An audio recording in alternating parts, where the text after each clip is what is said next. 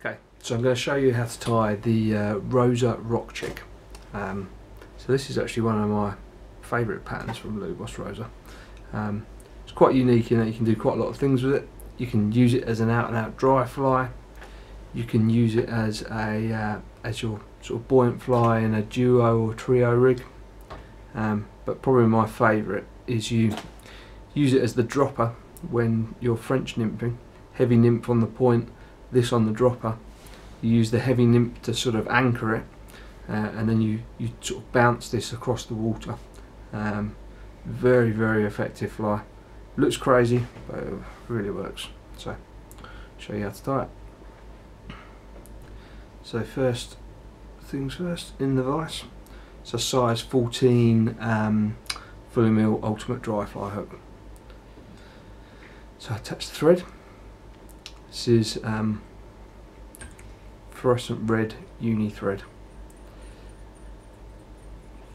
Okay, so supposedly the red thread makes the difference. Um, it's what Lubos reckons anyway, so that's what he says. I'll stick with that. Um, so the tail is uh, pearl crystal flash. So just fold that around your thread. And tie it in.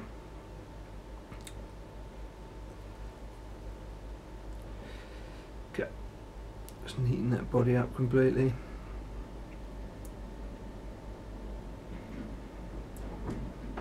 Okay, right, just chop that tail off.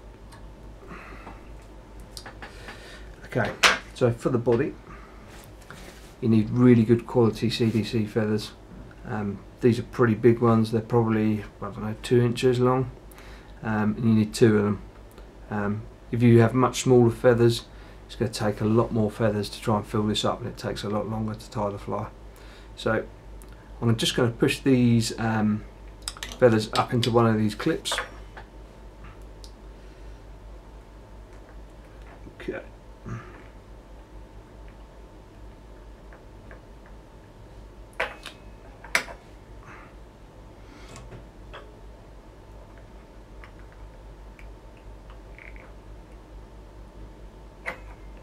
Okay, so we've got all the fibres up in there. You have to chop that off. Chop that bit off. And then we just transfer the fibres over into that one. Okay. So I just chop the, um, the quill off from all of the CDC fibres.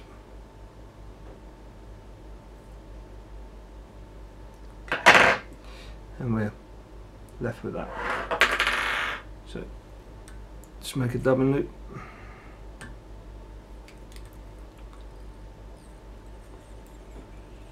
Run your thread up towards the eye.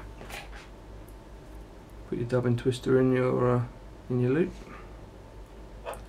and then we just transfer uh, all these fibres into the loop there. You do actually want quite a bit of the butt ends sticking out the other side of the loop. That makes um, makes you a little bit of a fatter body.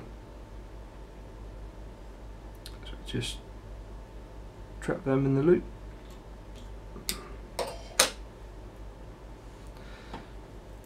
And then we just spin it up.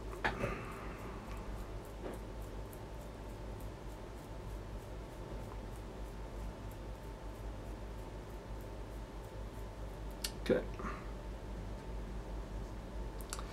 And then we just wind this up the body. Don't worry if some of the uh, red thread from the body shows through. Doesn't really make any difference.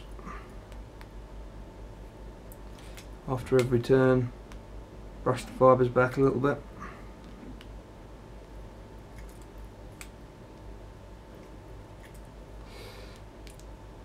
Okay.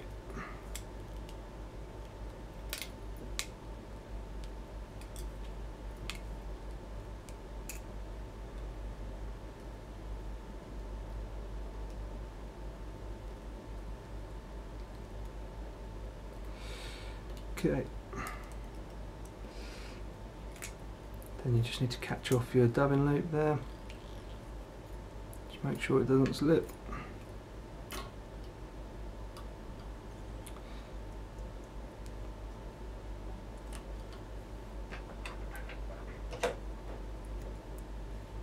Just cut off the uh, tag piece of that there.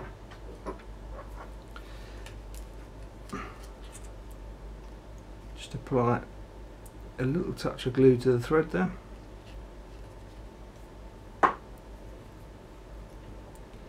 And then we just whip finish.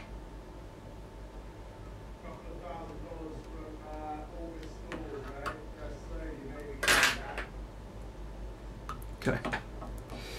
So if you think any of the fibres are a bit long, you can trim them back a bit. You can run your scissors through and just um, make sure there's no fibres that are caught. And that is the rock chick. Looks crazy, but it works really, really well. Try tying some up.